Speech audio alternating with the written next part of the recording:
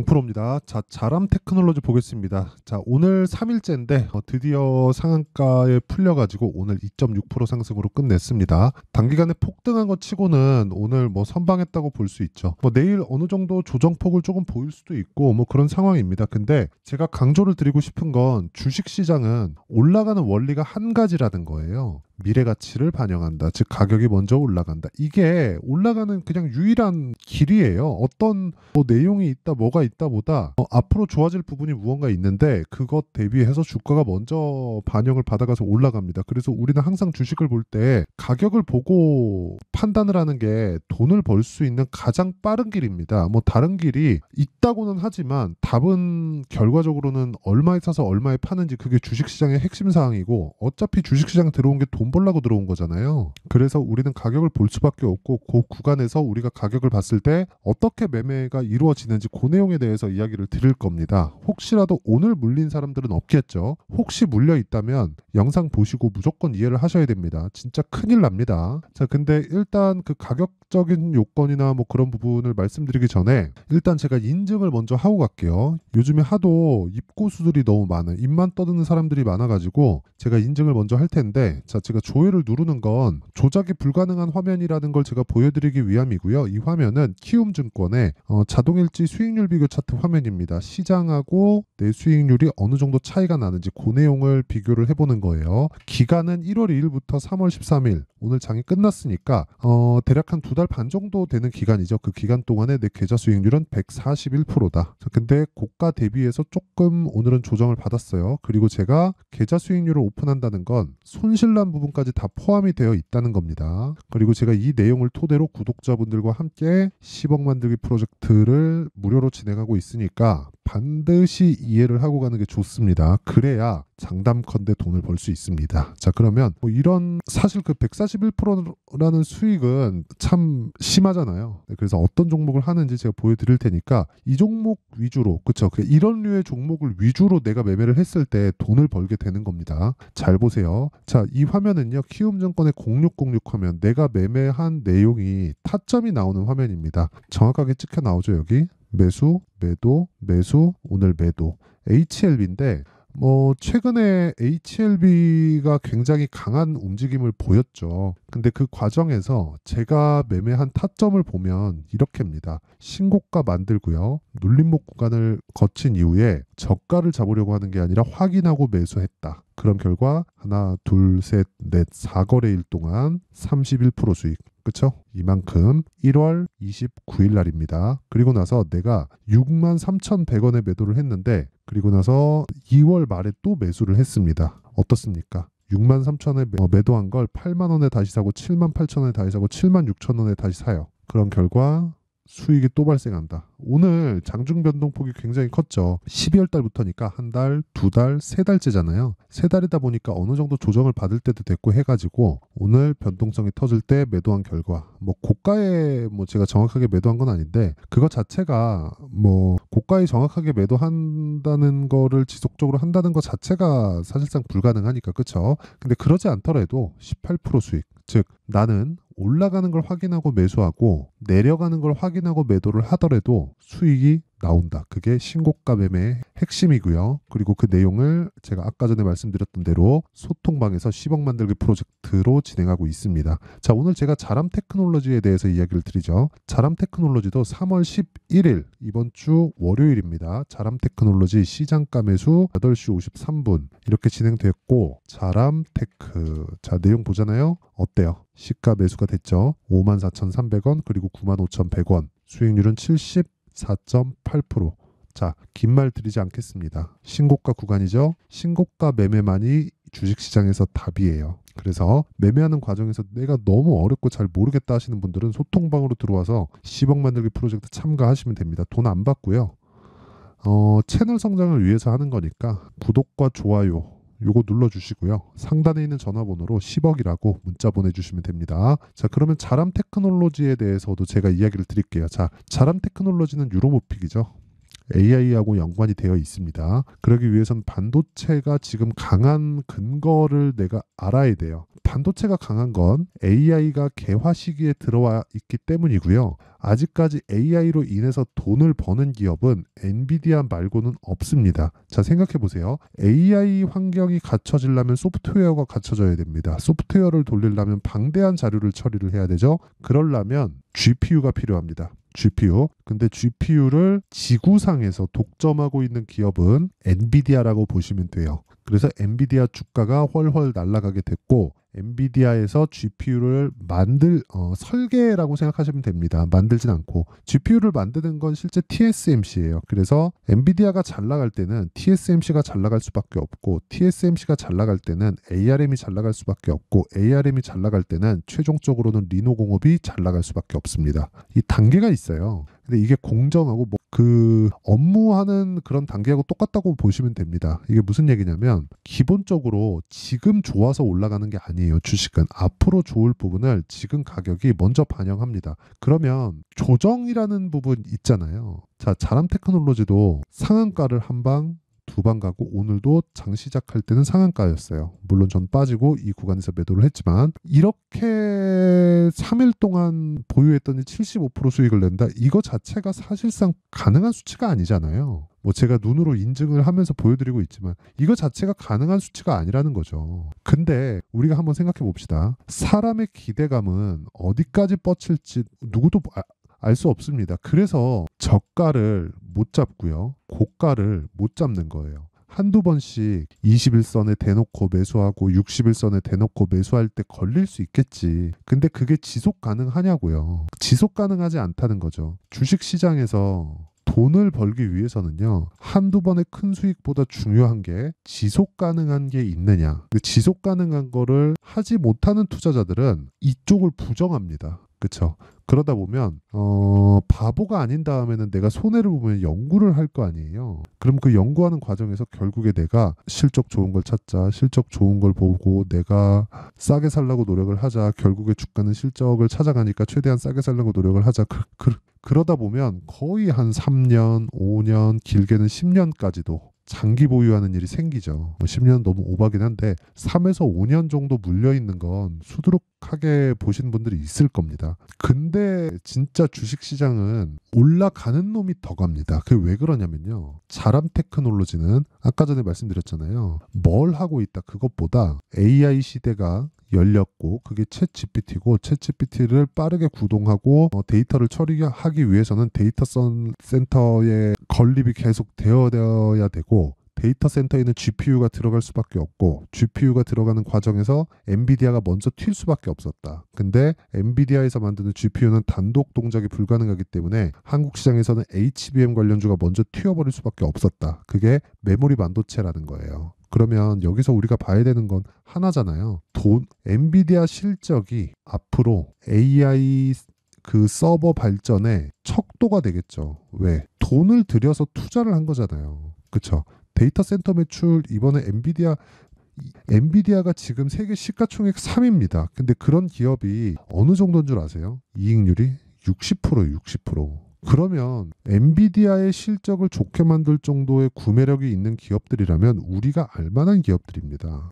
아마존, 메타, 뭐 구글, 앞으로는 애플도 하겠죠. 그러니까 제가 그 이야기를 드리는 거예요. 진짜 어, 세상의 변화가 오겠죠. 근데 그 변화가 어디까지 미칠지는 우리는 몰라요. 모르는데 주식은 그걸 선반영한다. 그 중에 하나가 유로모픽인 겁니다. 그리고 뉴로모픽 관련주가 자람 테크놀로지고요. 그리고 아까 전에 말씀드렸죠. 네페스 아크.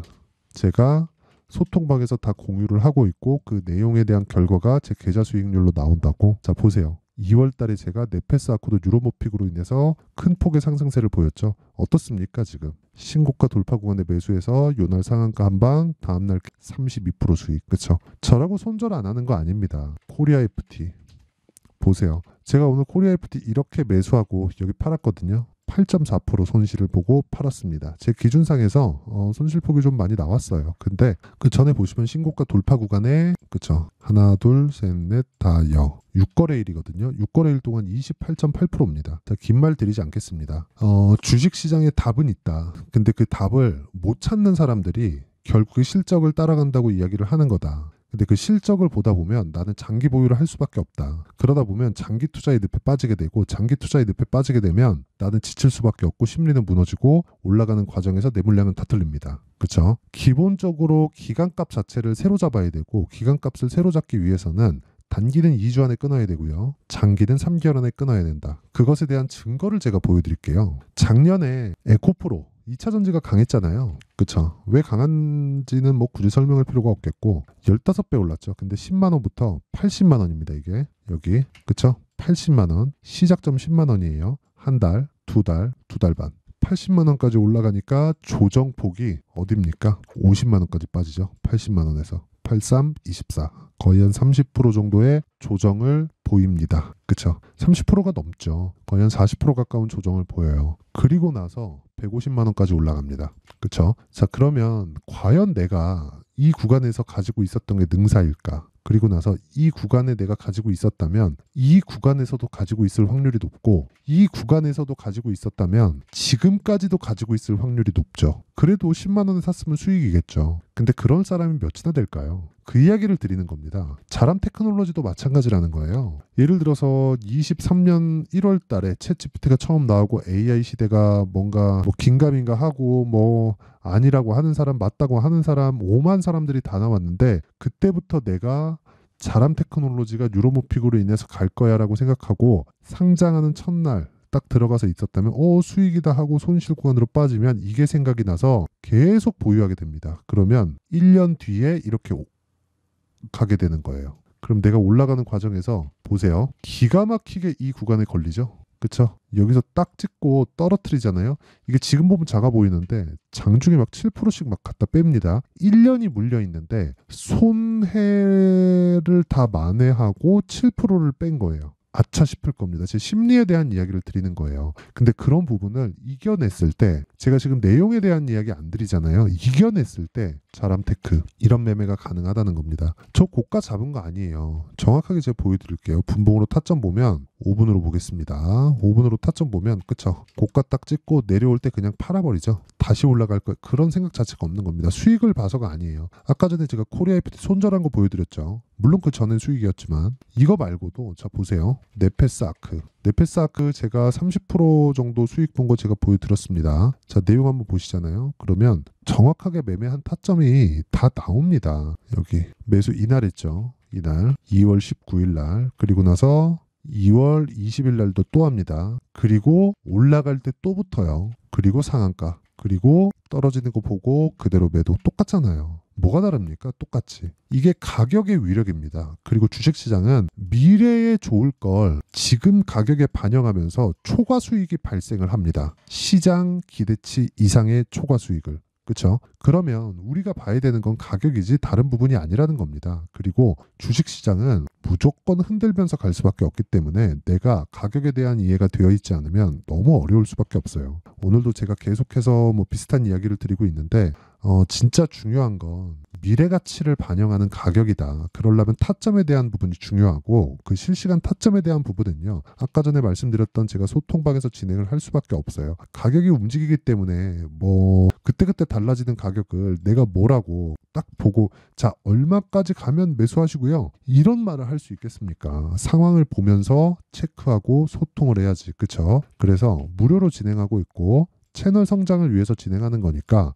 소통방으로 들어오시면 되고 구독과 좋아요 요것만 눌러주시면 됩니다. 그리고 상단에 있는 전화번호로 10억이라고 문자 보내주시면 돼요. 자 그러면 내용 정리 한번 할게요. 주식시장은 미래가치를 반영하고 그게 가격이 올라가는 부분을 의미를 한다. 그러면 올라가는 종목은 앞으로 주도주가 될 수 있다는 게 되고 그 첫 번째 구간이 신고가가 됩니다. 이 내용을 지금 상황에 대입해서 보면 지금 강한 신고가 종목이 3, 4, 5월 달에 주도주가 된다. 그럼 그 종목을 어떻게 분류하고 어떻게 판단해서 매매를 할지 이해를 시켜 드릴 테니까 영상 끝까지 시청하시고 반드시 이해하고 가셨으면 참 좋겠습니다. 자, 24년도가 돼서도 시장은 여전히 어렵습니다. 자, 근데 시장은 항상 어려울 거예요. 앞으로도 계속해서 어려워질 겁니다. 자, 근데 제가 매월 어, 대시세 종목을 구독자분들에게 공개를 합니다. 자, 내용을 보면 12월 달에 실제 공개를 했었던 강프로의 대시세 종목에 대한 내용인데 어, 대기업을 상대로 안정적인 매출 구조를 가지고 있고요. 그리고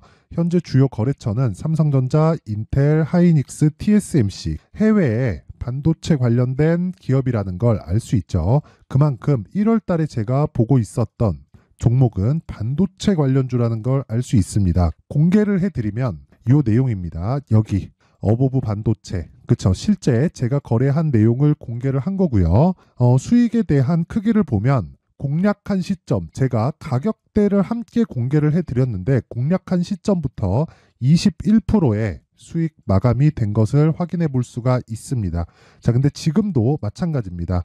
지금은 어떤 이슈가 있을까요? 2월 달에 발표한다는 기업 밸류어 프로그램이 있죠. 근데 그걸로 인해서 지금 2월 달에 발표한다고 이야기가 나온 상황이고요. 무엇보다 우리가 생각해야 될 내용은 한 가지입니다. 어떤 이슈나 그리고 어떤 뭐 상승할 수 있는 내용으로 인해서 주가가 올라가는 것은 맞죠. 하지만 가격이 먼저 반영한다는 걸 반드시 알고 있어야 되고 그런 내용에 대한 파악이 되었을 때 그쵸 여기 어부부 반도체처럼 21% 그쵸 대략 3에서 4일 동안 20% 이상의 수익을 먹을 수 있고요. 그리고 여기 HLB 같은 종목처럼 대략 일주일이 채 되지 않는 기간 동안 30%의 수익을 낼 수 있습니다. 자, 그러면 답은 나왔어요. 재료에 대한 부분보다 중요한 게 가격이다. 자, 근데 지금 시장에 쏠려 있는 게 뭐죠? 2월 달에 발표하는 기업 밸류업 프로그램에 대한 내용이죠.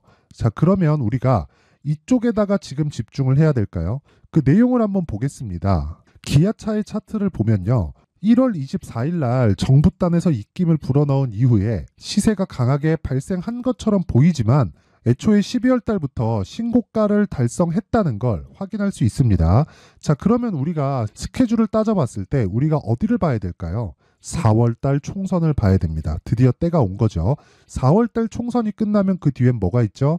대선 전국으로 들어갑니다. 그러면 우리는 4월 달 총선부터 시작해서 대선까지 이어질 수 있는 종목을 찾는 게 정말 중요합니다. 그게 정부 정책의 방향과 그리고 스케줄에 맞춰서 가는 거예요. 정치적인 상황에 따라서 주가가 움직이는 걸 우리는 수도 없이 많이 봐왔기 때문에 스케줄에 맞춰서 가는 게 지금으로서는 답이 될 수 있습니다. 그리고 무엇보다 어느 정도의 시세를 내는지 그 첫 번째 단계인 상황을 그쵸 제가 12월 달 밝혀드렸었던 대시세 종목으로 이미 공개를 해드렸기 때문에 그쵸 어떻게 제가 매매를 했는지까지 다 보여드렸습니다.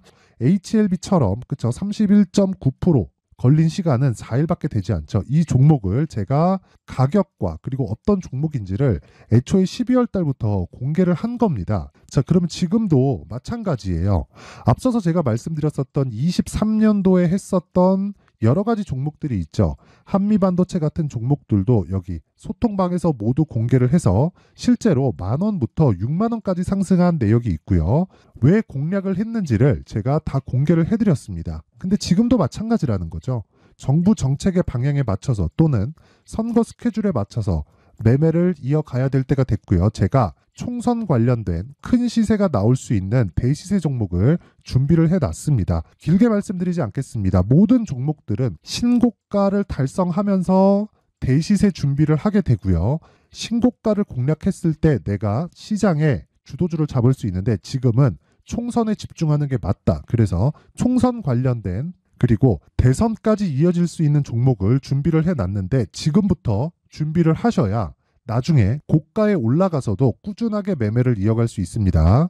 자꾸 막 손절하고 매매하는 과정에서 너무 어렵다 하시는 분들은요. 이 종목 딱 받아가서 큰 수익 내셨으면 좋겠고요. 이 종목은 상단에 있는 전화번호로 대시세, 대시세라고 문자를 보내주시는 분들에 한해서만 제가 총선 그리고 대선까지 이어질 수 있는 종목을 공개해 드리도록 할 테니까 상단에 있는 전화번호로 대시세라고 문자를 보내주시고요. 그리고 구독과 좋아요 꼭 좀 부탁드리겠습니다.